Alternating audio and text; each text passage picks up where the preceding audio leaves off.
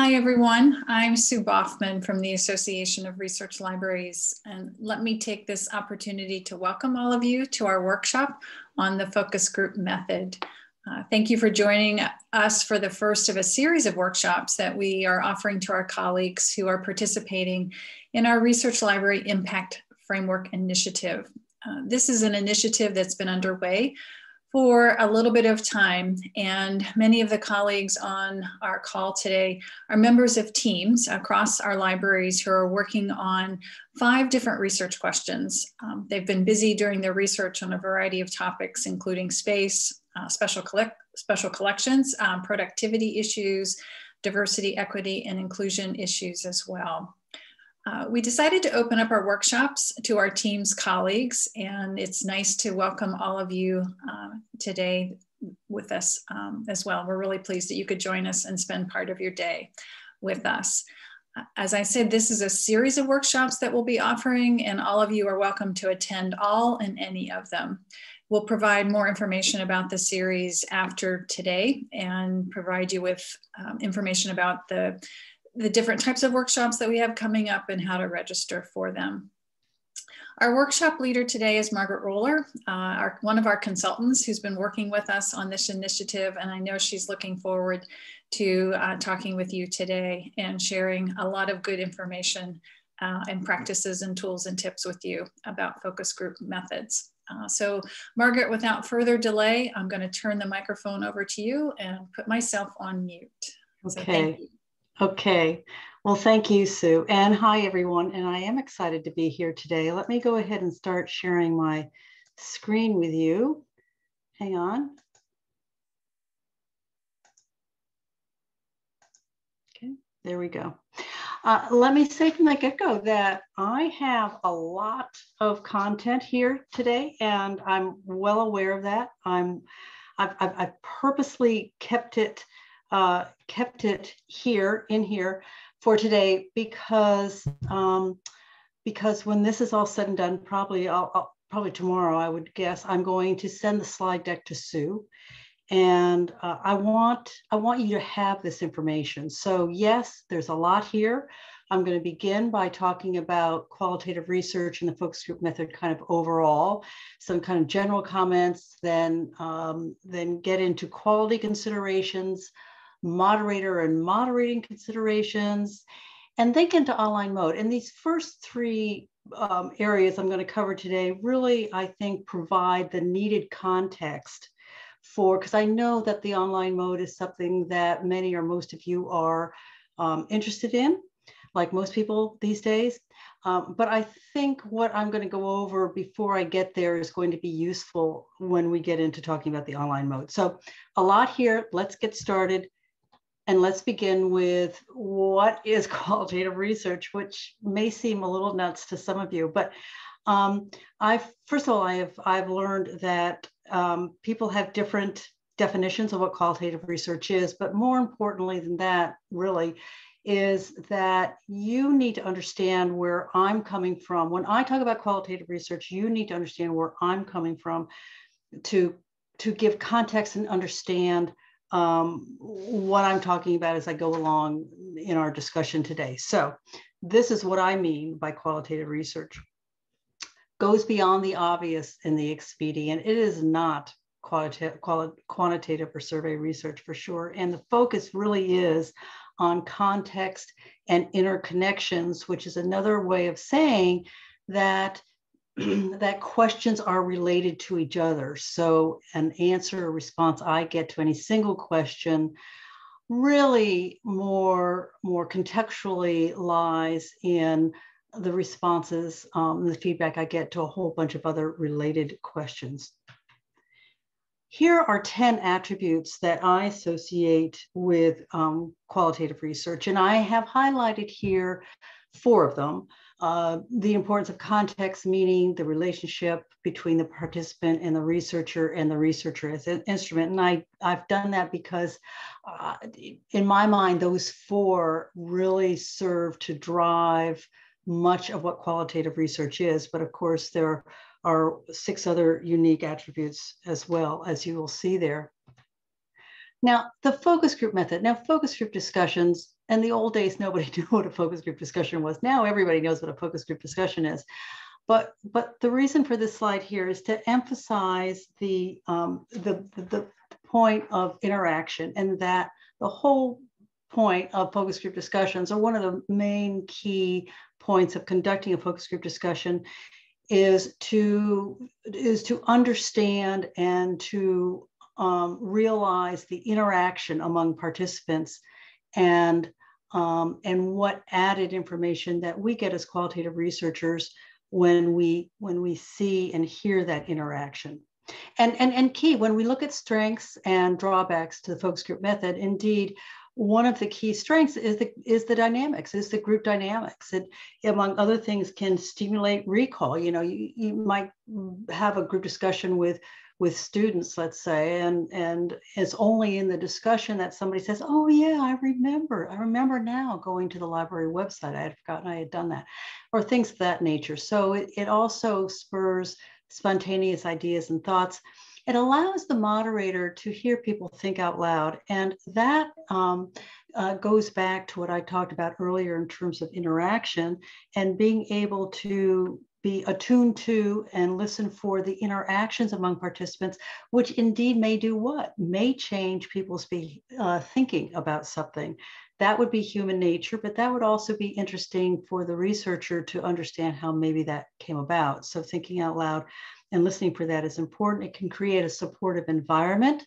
Um, if you are conducting uh, group discussions with students with certain uh, learning disabilities, um, it can create, again, a, a, a, supportive environment which may um, provide um, good information for the researcher as well as um, a positive experience for the participants and clearly can offer a wide range of attitudes and behavior. Now, drawbacks or limitations to the focus group method. Right on the top, you'll see exactly what I just said are strengths, which are group dynamics. Group dynamics can also have the kind of the, the, the drawback of um, stifling different differing attitudes and uh, personal input can lead to group think, which I'll talk about in a minute. Um, and for the moderator, it can be difficult, difficult to control. It may not also be appropriate for certain types of participants, such as executives, might not be appropriate for certain topics. And there may be ethical considerations. So for instance, you know, what you talk about in a group discussion should ideally stay within that group discussion. But the reality is, is that you have no control over that. And what participants talk about outside of the discussion, um, you never know. Uh, so that has to be a consideration as well.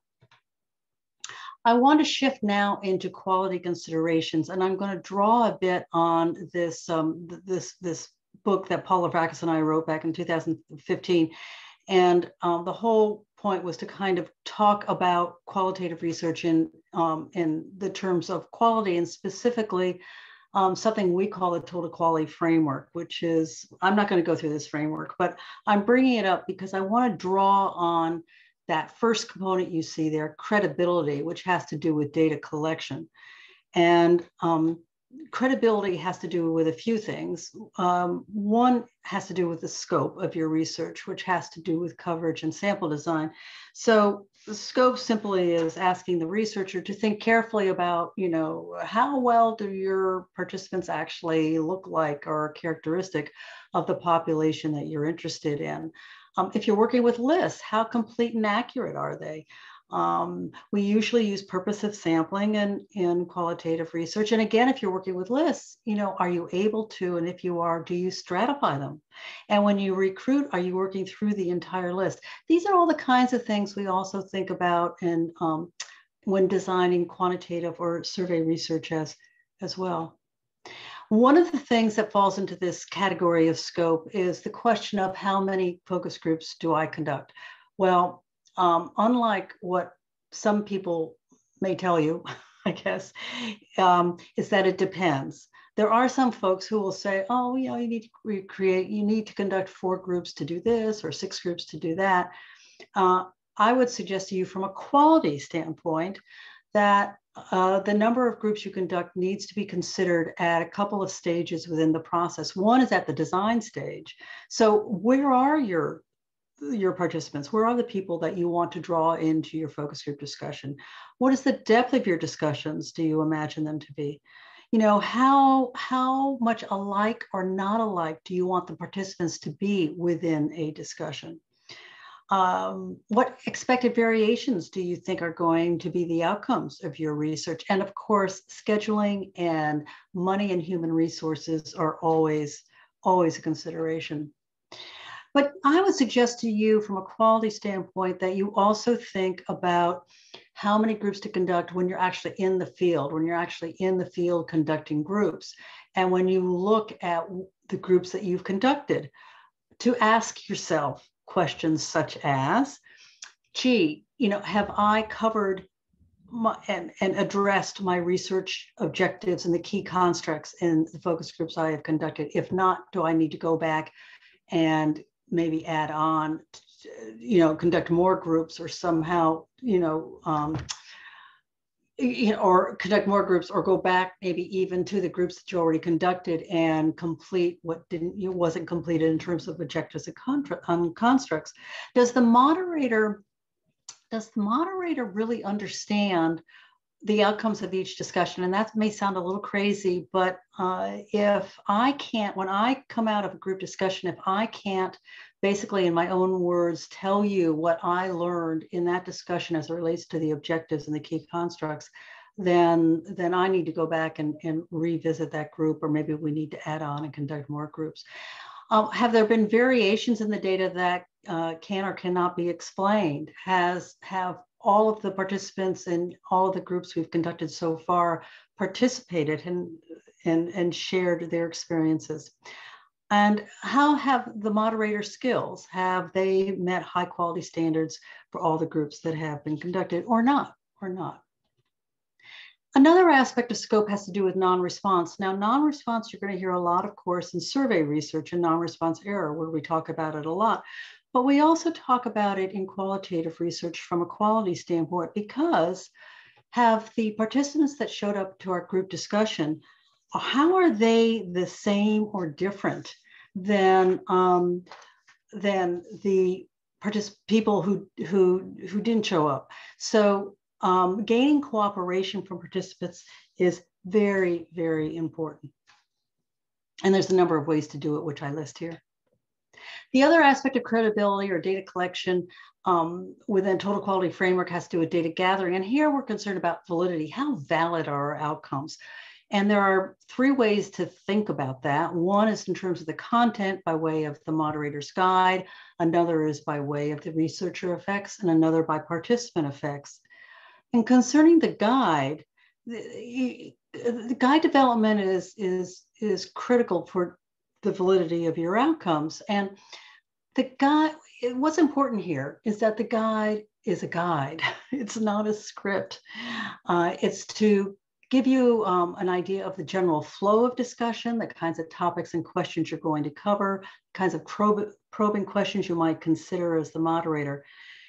And it has a funnel um, design. And what I mean by that is that the moderator's guide goes from, from broad to narrow. I think of it in terms of four stages. With the first couple of stages where we're gaining general information on the on the participant and the topic topic of interest, and then moving into stages three and four, where we where we're narrowing down to what we really want to talk about to our our what we're really our focus is of the particular research we're conducting. Here's a quick example of a focus group study I did for Michigan State University, for example. These were actually online groups. They were asynchronous groups with faculty and staff concerning the um, university's outreach and engagement office. And what we wanted to, we wanted to learn uh, the kinds of outreach and engagement activities that faculty and staff were engaged in. Um, we want to understand what resources they were using to support them, but but our re- but but but our real goal, where we go, where we where we were going with that, is uh, to understand what the MSU um, office uh, Office of Outreach and Engagement could be doing differently or better to support faculty and staff. So we started off with just understanding their definition of outreach engagement, their activities, and then we moved into stage three where we asked about their resources and then their awareness of, of the MSU uh, outreach and engagement office and how this office has or has not assisted them. And then stage four, what we really wanted to know, which is how could the office better support them and what would make a world-class um, office and engagement resource for, for these people. Moderator bias is another consideration when you're considering the validity of your outcomes. And there's a number of ways that the moderator can bias the outcomes clearly. Uh, I've just mentioned a few here, and there's more to come, as, as you'll soon see. Uh, giving selective attention to participants in a discussion, or you know, voicing their own opinion, or losing track of group dynamics, um, which can happen, of course. Even their physical uh, appearance can have an effect. What can help mitigate um, uh, moderator bias is something called a reflexive journal. And we're not going to get into it a lot right now, but I just wanted to throw this on the screen to give you an idea of the kinds of things. The, the, journal is basically a diary that the moderator can reflect on uh, and complete after a group discussion. And this is really true for any qualitative method. So the moderator in this case can can think about, well, what, you know, how did my personal values and beliefs maybe impact the questions I asked or my listening skills or, or things of that nature. So this can be a way for, again, to help mitigate moderator bias, but really reflecting on the moderator's behavior and thinking. Moderator inconsistency can also impact the validity of your outcomes. And, and I will tell you, and, and any of you who have moderated know this, that it's a big challenge to fully engage a group of participants with a very limited time and and and therefore it's um, not so unusual that group dynamics may not be well managed or that group dynamics might actually get away from the moderator a little bit. And and when that happens, one of the outcomes, one of the things that can happen, of course, is that um, the guy, as just one example, the guide is not fully covered in a discussion. So maybe the, the moderator had to jump the midsection of the, um, you know, maybe of the of the guide and go straight to what I just showed you, stage four, and get to some of the ending questions. And if that's true, that really has um, that really has um, uh, really jeopardized the integrity of your your outcomes. So you need to be very careful of that. Now, the last point on this slide you will see is is is the idea that moderator inconsistency can happen because the moderator has not um, in, a, in a consistent way presented concepts or definitions. So for instance, if you were doing a group discussion and the main focus objective of this discussion was to understand participants' reactions to, let's say, a uh, new on-site library service. And that really was a, a big um, objective of your research if the moderator from group to group does not actually um, state, or in my case, I would always, I, I read something, read the exact same description or definition of this new, um, new uh, on-site library service in order to gain participants' reactions, then, then the moderator has jeopardized the validity of the research um, simply because group participants from group to group are are uh, reacting to different versions of what this concept is. So you have to be very careful about that. Um, interpersonal qualities of the moderator, I think goes without saying, and but why is it so important? Why is it so important to have strong interpersonal qualities? It's because it's those qualities in the moderator that really help build support and a trusting environment And that's important because that is how the moderator is going to enable and motivate participants to share their candid thoughts, which, and that's important because that is how the moderator, the researcher gets closer to, um, to the research objectives. There are four key broad moderator skills. One is being highly organized. Maybe that seems kind of obvious. Uh, moderator needs to be very well prepared. There's a lot of little things that need to happen, such as confirming participants and making sure the platform or the facility is all set up and moderator has all the materials. I've highlighted here this idea that the moderator has internalized the guide. And I can't, um, can't stress that strongly enough. It's important for the moderator to come into a group discussion having really absorbed the guide and absorbed the key objectives and contract constructs that need to be investigated in that discussion so that when things happen in the discussion, uh, group dynamics and all the things that can happen in discussion, which will happen, the moderator is prepared because the moderator has, again, internalized the guide and exactly what the moderator needs to be getting out of this discussion. So clearly, um, in, be, being able to manage time, the discussion, to cover all the topics and to cover the objectives um, is is an important skill of the moderator. And again, I would suggest to you part of that, if not most of that, comes from having internalized the, the, the guide. Has to be a leader without being overwhelming. It can exhibit control, um, but and knows how long to stay on a topic and when to move on, and importantly, what to move on to. Now, that becomes very important when participants are making maybe taking the discussion in in other directions that you hadn't planned. Um, but because you have really absorbed, you know, the, the guide and the objectives and all of that, you're able to say, okay, I need to move this over here. I need to move this conversation back and I need to move on to whatever it is. And you can do that effectively if you've, if, again, if you absorb the guide and all. And how to speak firmly but respectfully. And, and, and showing a lot of respect is, of course, goes back to building building rapport. Being open-minded and flexible, being objective, you know, that goes back to not interjecting your own values and the reflexive journal and all the things that we've already um, talked about.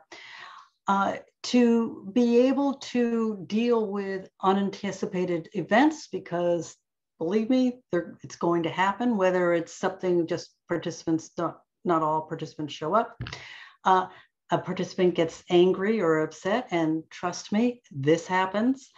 Um, there might be last minute changes to the guide. There might be all, any number of things that the moderator needs to be flexible enough to adjust to and to deal with, which is another way of saying they need to be good at logistics, whether it's setting up the room or dealing with technology issues or whatever it is.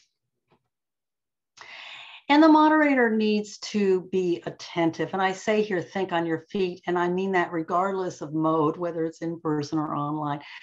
The moderator needs to be able to, to, to listen carefully to each participant while at the same time um, uh, following the, each participant's thread. So, you, so the moderator is being clear about each person's kind of life story as it relates to our research objectives, while at the same time um, staying attuned and listening carefully to the interaction between the participants um, and what is going on with that interaction. And as I've already mentioned, the ability to identify and assess um, unanticipated topics as they as they show up. So those are kind of skills, but what are some of the techniques? Um, something I've already kind of said, and here's maybe just a different way of saying it. The moderator needs to be very clear about um, uh, about each participant's attitudes and behavior related to what we're talking about in the discussion. But at the same time, be very clear and understand where the group overall is coming coming out uh, in terms of their attitudes and opinions um, and behavior with respect to our research objectives. You know, verbal and nonverbal um, uh, techniques are obvious ways uh, to get at, at any of this. Now, in terms of direct questions, uh, there are, you know, you know, three the three C's of direct questions. Context. Um, I just threw up here just a couple of examples of these of the three C's of direct questions. Um, here is you know, you know context what is your process for exploring uh, scholarly literature relevant to your research um, but from there we might want to actually have participants compare and contrast for us so we might say to what extent if at all do you use specific scholarly databases google scholar the, the college university library website website or an all-purpose search engine in your process. And then you might even want, you know, want to some clarification. And I've the example I put here is, you know, you mentioned earlier that you use whatever sources were mentioned in your process to explore relevant literature. Um, are these also the sources you use to stay current with scholarship in your field? Now, i have done a whole webinar on the why question, and we're not going to get into that right now. Let me just, I'm going to just throw this slide on the screen and just mention and just and just make the comment that the why question is not always the right question. And it's interesting because um, many people all the time will tell you that the reason we conduct qualitative research uh, focus like focus group discussions is to get at the why question. You know survey uh, survey questions and survey research tell us the what and qualitative research tells us the why. And i'm just here to just mention to you that the why question is not always the right question and think carefully when you are writing your questions for your discussion guides. The reason is is that the why question can put participants on the defensive. Um, you, you're now asking them possibly to justify their attitudes and behavior for you. And so they're having to kind of search for a sense of response to you that makes sense, uh, which is going to stop the flow of conversation. It also can cloud the meaning. And the example that I use here is if you ask the question, why is the library important to your research? I would suggest to you that that is a confusing question.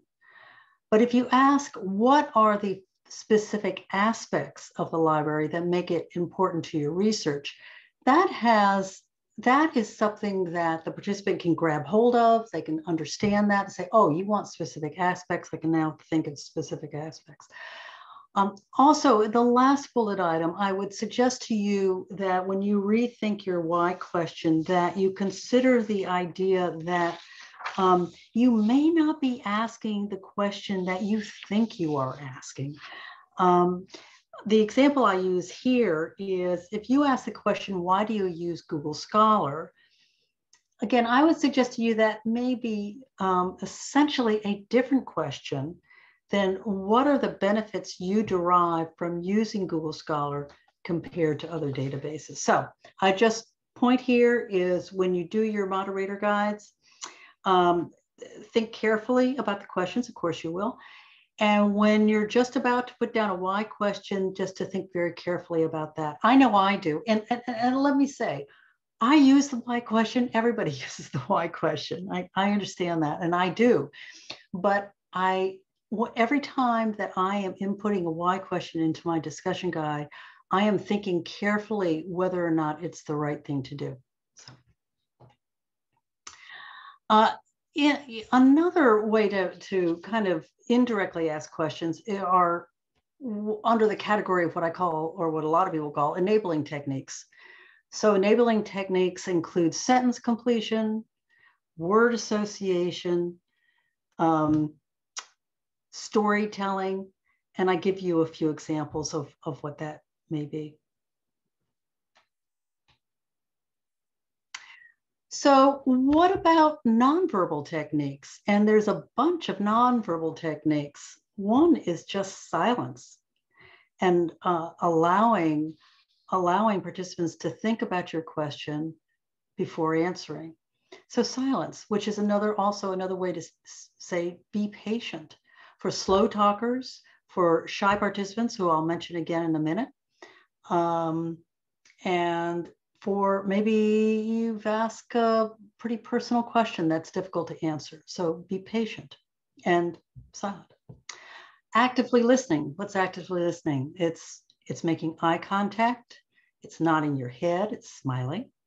It's all those kinds of things. When I do, um, particularly when I do in-person groups, I use the easel, just your basic easel a lot, or a whiteboard if it's there. Um, I kind of like the easel. It's very tactile, but the whole point is to um, use it to kind of um, it, it, says to the parent, the to parent, it says to the participants, I hear you, I'm listening to you, and it really helps kind of facilitate and create energy in the discussion. And I say here, be approachable, which um, basically means again, smile and and I've mentioned before, dress appropriately. I'm a big believer, and I've been saying this for years now, that um, whenever I do an interview or a group discussion, uh, unlike today, I wear an open collar. Uh, just because an open collar, I believe, says to whoever it is you're talking to, your participants, that hey, I'm here. I'm open to, I'm open to what you have to say to me today. I'm going to not spend much time on this at all. I'm, I'm going to kind of um, um, flip through. You're going to have this in your slide deck. Uh, I wanted you to have it. I'm going to flip through various participant types and you will see that I will mention the participant type and then provide um, a way to maybe as a moderator to um, deal with various participant types. So one obviously is the, is the uh, dominator, person who wants to dominate the discussion. And kind of what I put a hostile argumentative participant, someone who has an axe to grind. And I, in, if you have not had that experience, trust me, um, it happens. And there are various ways to deal with that. There mentioned, I mentioned just a, a little while ago, the shy participant. Uh, and um, I have many experiences. I think we all do, whoever has moderated of shy participants, and there's many ways to, to deal with shy participants. Um, yeah, group think is, um, and I've mentioned this before, but it's something that the moderator really needs to pay attention to because all of a sudden you go, wait a minute, the group all seems to be agreeing with whatever it is we're talking about. How did that happen? Uh, so there are, and, and this happens on a fairly regular basis as well. So here I offer a, a few ways to deal with that. Straying from the guide, um, this happens too. And, and in, this can actually be a good thing uh, because maybe they maybe participants have strayed off the guide into a territory that you hadn't anticipated. But hey it's really interesting. And you as the moderator thinks hmm i hadn't anticipated this but this is interesting and i think ultimately relevant to our objectives. Uh, but those are decisions that moderator needs to make you know in the moment. But be aware that this can happen obviously. Now, for an in-person discussion, it's not um, it's not unusual for uh, side conversations to pop up, and there's a, a number of ways to to deal with that.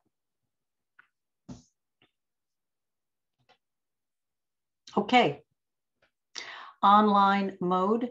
Let's talk about that a little bit. Um, there are um, I've just put down here synchronous and asynchronous um, focus group discussions. Synchronous is um, probably more common. It's the video conferencing and asynchronous being uh, they're called bulletin boards or, or discussion boards. There are um, a number of advantages to the online mode. And, you know, it used to be, used to be uh, not that long ago, like just maybe a year ago, that uh, I would have this discussion, and this would be all be news to whoever it is I was talking with. But now, after a year of um, the pandemic and a year of um, many of us moving to the online mode, many of you are probably already aware of what I'm going to mention now. So clearly, uh, uh, some of the advantages can be that you get greater coverage, uh, and therefore you can have a more kind of representative um, uh, looking group of participants in your discussion. It can be more convenient for, for participants. It may be more appropriate for sensitive topics, and it could be a relevant form of communication depending on, on the kind of participant that you are, you are uh, after in your research. It can also provide greater accuracy, I put down here, and more in-depth information. And partly what I mean by that is, for instance, in the online mode, you can gather multimedia, you can get text, you can get video, you can images, you can get, you know, a multimedia approach to the responses to your questions. It also, particularly for the asynchronous mode, you can get very detailed and thoughtful responses, which also I am here to tell you can also um, be a disadvantage be just because it is overwhelming and then you have to deal with it. it but it also can mit mitigate, particularly in asynchronous mode, can mitigate recall, recall area, error. Now, the last point I have on this slide is that it may be an efficient use of resources. Now, the reason I say may is because uh, indeed, you will not have travel expenses. You will not have food expenses um, because we, we feed the participants and observers. Uh, however, the cost of uh, the online platforms can be the same as the cost of a focus group facility. Uh, and for the asynchronous mode, when you um, when you um, conduct bulletin boards or discussion boards, that can be twice as much as a in-person facility rental. So it's not necessarily a better use of resources. And also, if you're paying an incentive or co-op to your participants, that is pretty much going to be about the same. You're not going to save any cost in the online mode.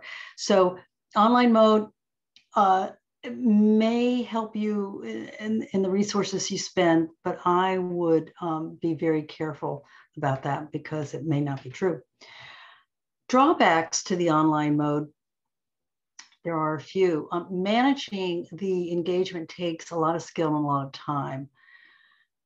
Uh, it's important to pick up cues. And in the online mode, I put asynchronous here, but even in the synchronous mode, it can be difficult to pick up it's not like being in person. So it may be difficult to pick up the kind of visual and verbal cues that you would expect and normally get in the in-person mode. I just, as I just alluded to, the analysis can be overwhelming and that you may have lots of data in terms of just volume, particularly again, asynchronous, lots of text um, data. Uh, but in synchronous or asynchronous, you may have in text, but then you may also have video and images. You may have the in the online work I've done, um, participants have sent me documents for me to read to support the things they were saying to me in the discussion, all of which it becomes part of the data. So it can become overwhelming. Fraud or misrepresentation uh, can be a problem. Security internet access, technical um, uh, glitches and difficulties. And um, for the asynchronous mode, text-based communication can be an issue because it that is its um, primary and key form of, of input. Now, I have put some of these strengths and limitations um, into this schematic you see here. And, and remember when I talked earlier about the total quality framework and the credibility or data collection component of the framework, and it has two aspects, scope and data gathering. And here I've just simply um, helped visualize a few of the things I just talked about. You'll notice that um, one of the things I have there, I didn't mention earlier, as being a, an advantage uh, under researcher effects are the um, platform features, which can help mitigate bias uh, and inconsistency. And these platforms have a number of features and, and, and as you see here, the, the, the number of qualitative research de dedicated platforms are many and they're growing every day. Just in the last week, I have gotten um, got information on a brand new qualitative research online platform that I had never heard of before. So it's it's growing all the time, and they are continue to grow in terms of, particularly in this past year, out of demand. Their features have continued to grow. Now, this is not something that wasn't you know that's new to in the past year, but as an example of some of the features is they have markup features where you can actually have participants mark up an image of some kind to gain their feedback. They have um, uh, heat maps that you can have um, participants engage in. They also have uh, other types of participant exercises like collages and mind maps and just your know, video feedback and visual elicitation and, and things of that nature. Uh, this, uh, I conducted uh, online um, focus groups for the EPA uh, in 2011. And this is just a screenshot of where I managed the participants. And I have to tell you, I spent a lot of time on this page because managing participants in the online mode, and this is in this case it was the asynchronous online mode, uh, can be very time consuming and uh, difficult if you don't have a good, efficient way to understand who's been in to respond to your questions, who has not been in to respond to your questions, who do I need to follow up with, who do I need to uh, respond to, um, and that kind of thing. Who is who has you know, and, and actually it was this study I alluded to a few minutes ago when I told you um, some participants gave me documents to read. This was a study with behavior and social scientists, and a number of them gave me research and literature and things that they had been involved in for me to read in response to some questions I was asking asking them. So um, a lot to take, a lot to keep track of, and, but these online platforms do a good job of, of helping you do that. They also, this is from iTracks. Those screenshots I just showed you a few minutes ago uh, up until now were all from 2020 research. Um, and what I'm showing you right now is from iTracks research. And just to show you their um, observer room uh, feature and how the observer and moderator can um, can talk to each other. And this is uh, this is from iTracks, but other platforms have the same thing. All of these platforms are offering very similar features, maybe done slightly in a different way, but, but very similar. These, these, on, these dedicated qualitative research platforms also, in addition to kind of features I've already mentioned, also provide full text support.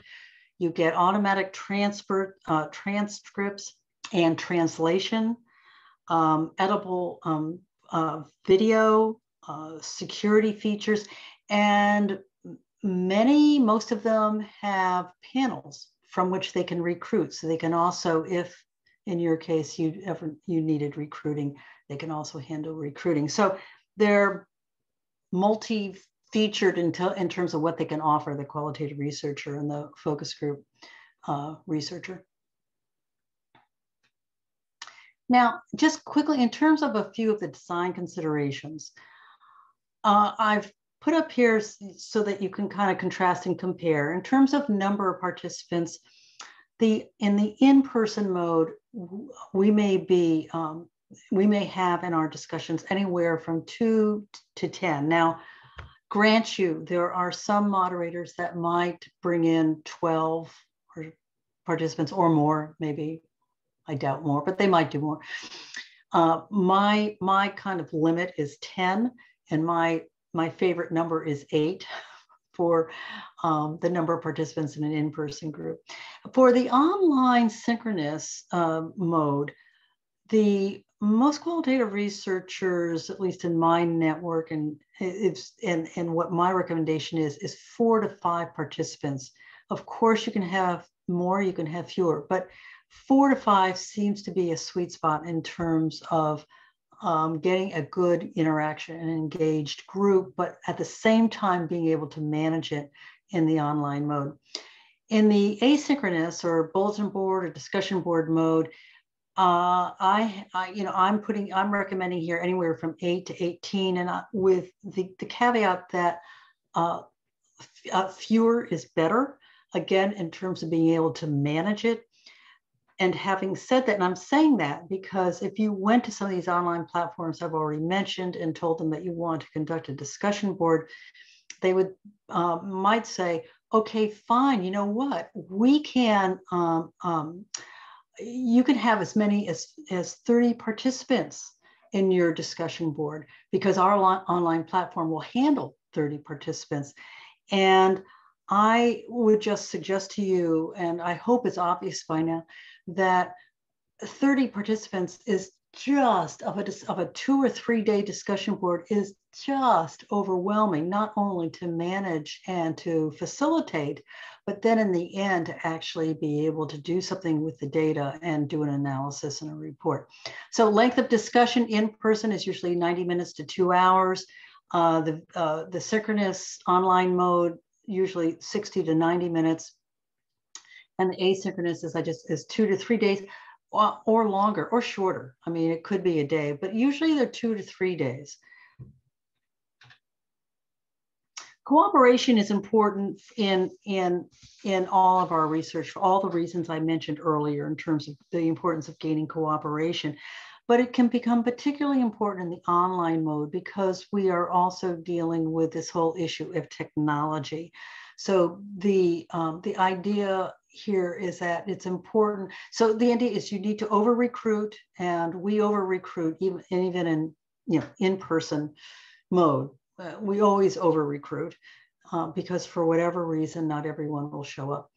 Um, but communication here about, uh, among other things, about the technology to, is important. So to include in the recruiting process, not only through screening participants um, concerning their qualifications for the discussion um, and, and, things of that nature, but also about your intended use of technology, their comfort with that, that technology you're going to use, their comfort with um, be having their webcam on and using video in the discussion needs to all happen at the recruiting pro- recruiting time but also in the communication you will do after recruiting and you do a lot of communication after recruiting in terms of confirming the recruit, reminders, in all those types of communication. It's important in addition to to confirming and, and mentioning again about the, the date and the purpose of the research and why it's important that they show up is to also mention again the technology and to mention again that your intention is if you're conducting uh, synchronous um, online discussions that you expect them to have their webcam on. The, in terms of moderator considerations, I would suggest to you that the qualities and skills that I mentioned to you earlier really uh, don't, um, are equally important in the online mode as they are in the um, in-person mode. So everything we talked about before, I would suggest to you again, are just as important in the online mode. In terms of techniques, the moderator needs to pay attention to the, to the fact that there will be differences in the online mode in the participant interaction. Typically, the interaction, participants will be less interactive, which means that the moderator is going to need to have to call on participants, um, particularly if the moderator has not upfront made the participants comfortable in how they should um, interject a comment or interact. So if I'm a participant and I'm a little bit nervous being in this discussion with some people I don't know any of these people, I don't know the moderator. And if I don't know exactly how how is am I supposed to just talk or am I supposed to raise my hand or what am I supposed to do? What I'll do instead then if I'm uncomfortable about all that is I'll do nothing is I, and I will just sit and be quiet. So participants need to understand how they can can interact. The moderator will need to pay more attention than in the in-person um, mode to the flow of discussion, the flow of the conversation, because it will be more difficult and they may indeed need to um, interject some more, um, some exercises or things of that nature in order to uh, stimulate and maintain some energy. And maybe it goes back to some of the things I've already mentioned to you when I showed you those screenshots. You know, maybe it's marking up an image or things of that nature. And the moderator needs to um, pay attention to the fact and be aware going into the discussion that participants may be distracted now, I mentioned earlier this idea in the in-person mode of side conversations. Well, on the in the online world, um, participants just may be distracted and need to step away, and the moderator needs to be okay with that, um, and needs to be okay with allowing the participants to turn off their video the moderator cannot rely so much. You know, I talked about earlier about active listening and kind of nonverbal techniques.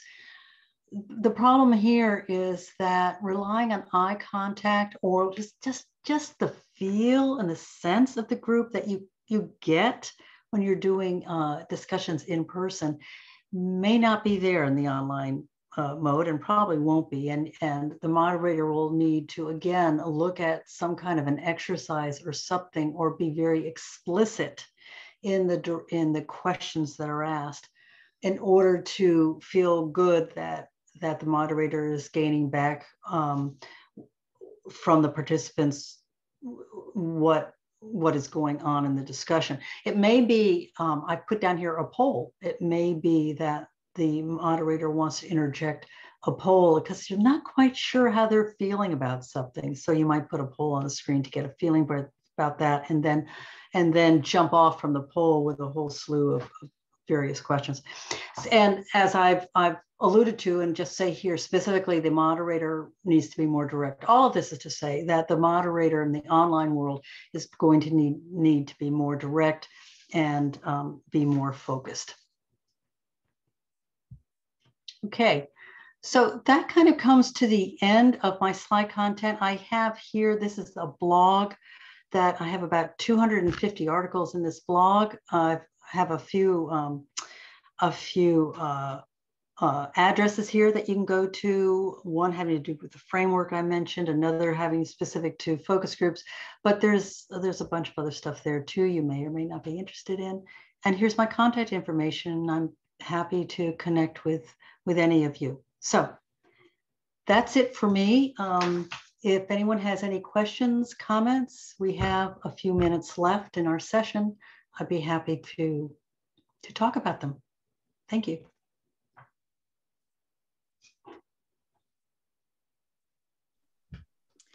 Thank you, Margaret. Um, so everyone, if you do have a question, uh, there's two options. One, you could pop it into chat and we can all see it and I will work with Margaret to make sure uh, we share the questions or you can raise your hand. And if you'd like to do that, if you hover over the bottom of your screen, uh, if you haven't done this before, there's a, a icon that says reactions. If you click on that, there is an option to raise your hand. Um, but yes, please jump in if you have some questions. And while you're all thinking and getting organized about, about your questions, Margaret, could you talk a little bit um, about the guide? And do you have um, and perhaps even a, an example of a good one that you might be able to share or could point people to some references where they might get some tips on what the, what a guide looks like. Um, sure. Um, let me make myself a note. Um, and I can send that to you, Sue? Sure. And we can make sure it gets distributed or, um, or everyone has access to it. Sure. I think that's that's a good idea. I will do that um, and give you a feeling for that. And um, I'm thinking maybe what I might do, Sue, is send you an example of an in-person, a discussion for the in-person mode for in-person discussion, and then for um, the online mode.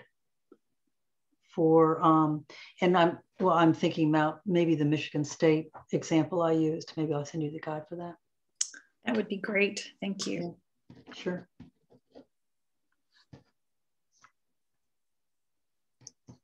Any questions?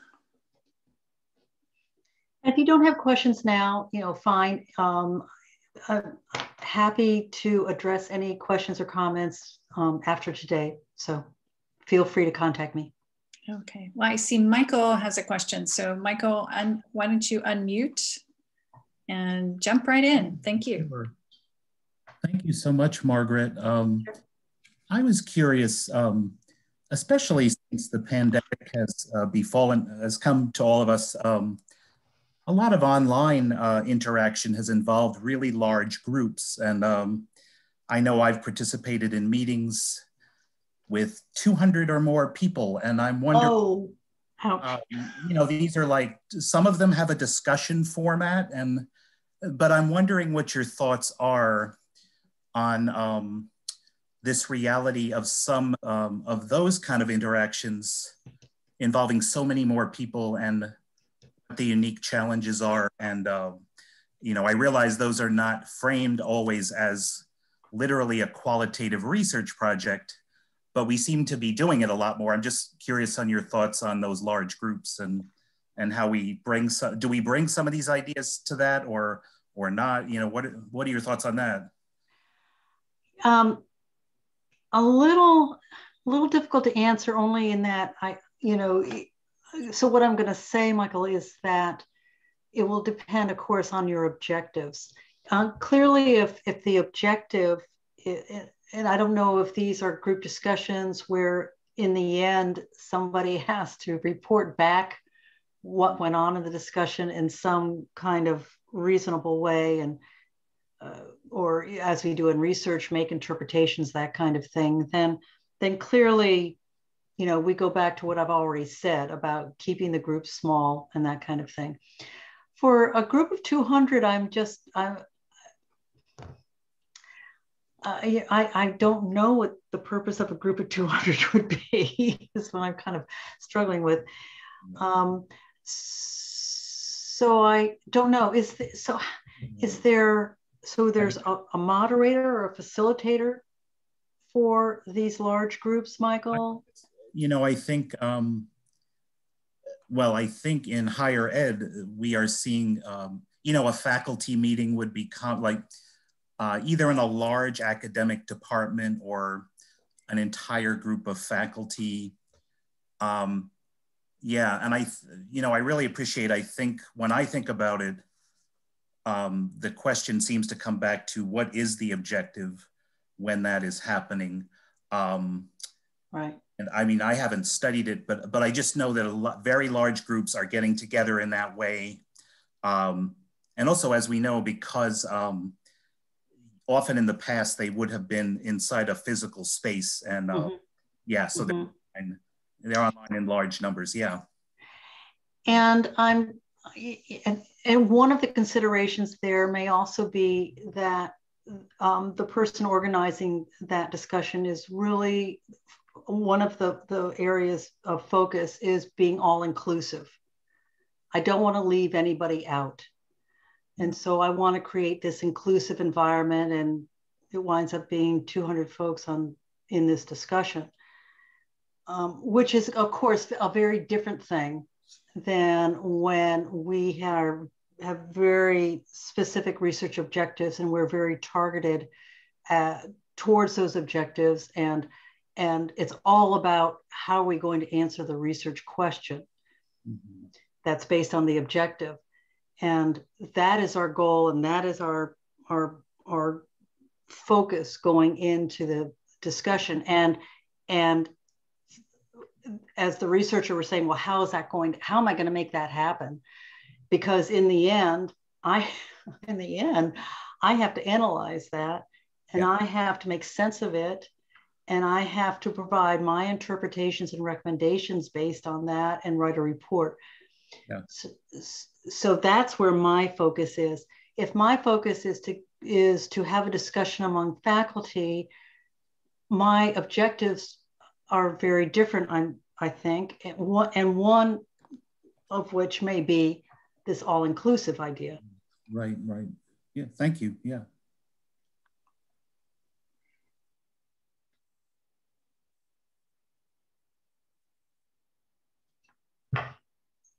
Other questions?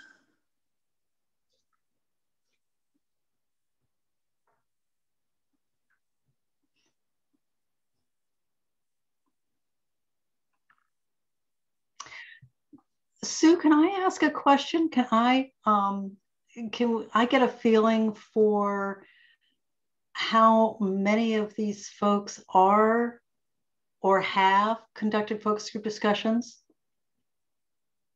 Why don't I, let's see, if I can set up a poll, why don't I do that? And then that could spark, maybe we can get people to respond. And in the meantime, uh, we have a question from Gordon that is, um, which is, what is the best way to select participants for a focus group? Hi, Gordon. I, um, unfortunately, participants um, um, come in different shapes and forms. And uh, so it's difficult to, to say there is a way, a best way to, um, to recruit a focus group participant. Um, it will really, so going back to what I said at the beginning of the discussion, if you have a list students, of faculty, of uh, community members, possibly. You would utilize that list in, in the ways that I already talked about. And um, you could, and then, and then you can send out emails. I say that, but what's very important is that you also contact them by phone. And I'm hesitating here because typically what we've always done is we've done it by phone. We, we usually have some kind of list, even if it's the, uh, the qualitative research providers panel database. Uh, we would begin by getting on the phone and recruiting participants and going through that list. Uh, these days, going by way of email may be uh, more appropriate to start. But even if you do that, you need to follow up with phone um, so that uh, there is a connection between participants and the moderator. Gordon, I don't know if that answered your question, but that's a very broad answer to your question, I guess, which is um, start with email or phone. If you start with email, make sure you follow up with phone. Don't know if that helps or not.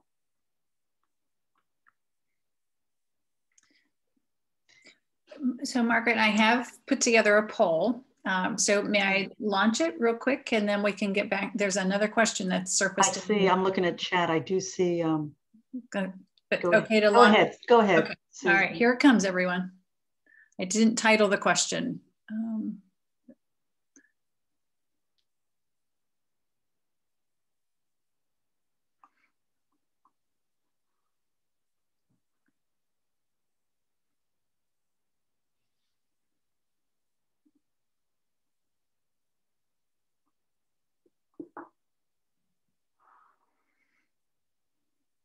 Answers are still coming in.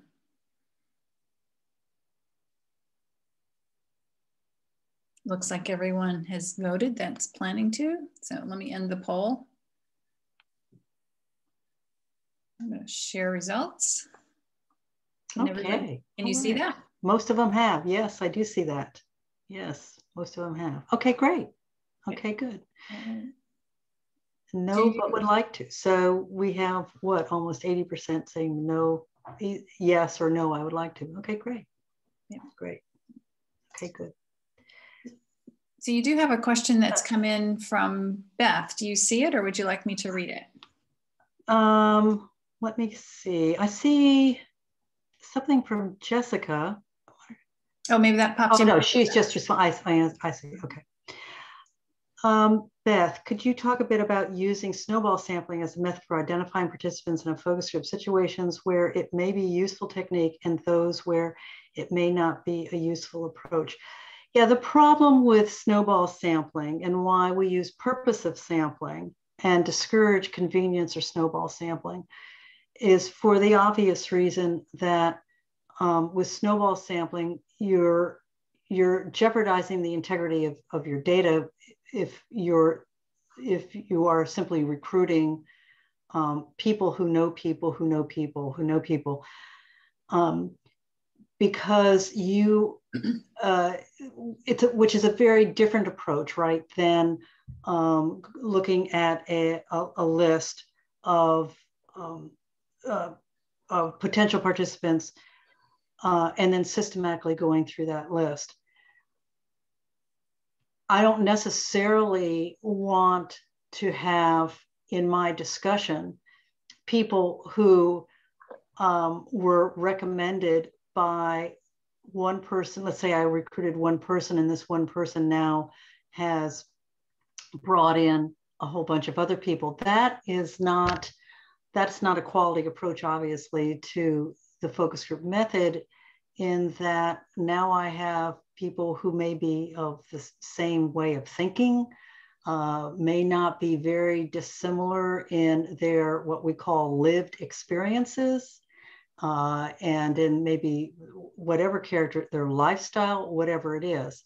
And that is not what we are looking for when actually when we conduct um, any piece of research. Um, when it may be useful, it may be, you know, having said all that, it come it it it has and it may come into play when you are dealing with um, uh, uh, uh, what I'll call scarce or hard to reach popul- segments of the population um, people who there maybe there may not be great numbers of them. You don't have a list. You don't have any way of that contacting them. Um, they're few and far between, and you have to go through targeted groups or individuals in order to gain entry to to the kinds of people who you are um, looking for. You know, this in a way goes back to the very beginning where um, I didn't leave it on the screen that much, but I think of one of the last items on that gain, gate, how to gain cooperation. I have on that list gatekeepers, and gatekeepers can be very useful in uh, helping to helping the researcher gain access to population types, particularly those that are hard to reach or just are very few in number. Uh, the problem, though, you have to always keep in mind is that um, you could be jeopardizing your research. Maybe you're not. Maybe you are dealing with such a selected group that it is very appropriate to take this method. Um, but you just need to be very, very careful about what you're doing and need to document it uh, not only for the analysis to be thinking about that, but actually in the reporting function, need to document that that's exactly what you did in your sampling. Thanks, Margaret. There's, I think, one last question before we run out of time this afternoon from Michael um, about the a facility moderator. Do you see that? Um, can you also share your opinion that if a library is holding focus groups, whether it makes a difference for the moderator to be directly affiliated to the library or a third party moderator. Okay. Um, as a, just a, as a, you know, a, a flat answer here, my recommendation would always be to, okay, to bring in a, a trained, skilled outside moderator that is who is going to to have all of the qualities that I shared with you today in this session. That is who you. So ideally, yes, I, I am. My recommendation is always for bringing in a skilled moderator from the outside. Um, uh, having said that, and I know that sounds self-serving because I am that kind of outside moderator, but I don't. So but, but, having said that, the reality is that for because of time, because of money, because um, you just don't know um, another, you don't know an outside skilled moderator, you may lean towards using someone um, in the library to moderate. And that's just life. That's reality. I understand that. I get that. But what I would suggest to you and strongly suggest to you that when you go that route, that you are very careful that, that that moderator is trained and is skilled in all these things that we've talked about, and that um, that including the guide development and all the things we talked about. We haven't talked about analysis reporting, but we will talk about that uh, later in other workshops. But uh, for for today, just to make sure that, that whoever you take on board is, is skilled in those areas as, as much as possible. Thank, thank you, Margaret. Um, Beth, you were appreciative of, of, Margaret's response and said you would like to make a comment in, in, in our the last couple minutes that we have left. Oh yeah, thank you so much. I was just, just rapidly trying to type it. Um, I worked with a, a team on a study a few years ago where and, and this sometimes happens, I think, in the library world where you're trying to um, you're trying to gauge needs or or something about a community of uh, of scholars that is is really far flung, and so it's hard to. There's no list. There's no, you know, yeah. association that they're members of, or you know, and, it, and there are no gatekeepers. Mm-hmm. So one of the things that that um, the the team that I worked with did was to to we identified a few people, um, did individual interviews with them, and used um, those interviews to seed a list, and then we carried out a scoping review on that topic so that we could uncover as many names as we could who'd been publishing in this area. Great. Good. And so we kind of used that to um, to sort of um, hold up against the list we were coming up with mm-hmm. by talking with people for snowball sampling. So that was something that that's a yes, it takes time to do a scoping review, but mm-hmm. yeah, you know, if, sure. if you just work up your Zotero and get your team together, yeah. that's one thing that you know we librarians sort of know how to do. That's great. I yeah. love that. How creative. Great idea. I love it, that. It's not my idea, but it worked really well. Regardless, it's a great, I love it. Thanks Thank for sharing you. that. That's yeah, great. thanks.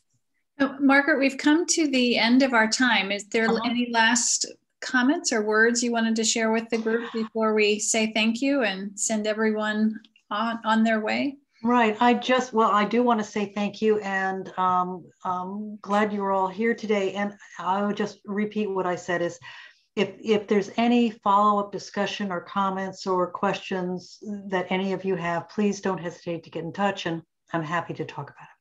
Great, thank you, so Margaret. You. And thank you again for the, your workshop on the focus group method. Thank you all. I'll add my thanks to all of you who attended. Thank you very much.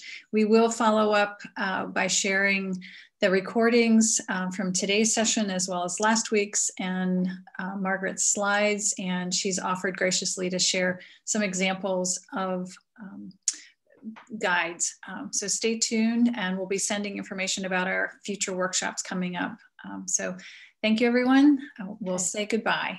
Thank you. Bye-bye.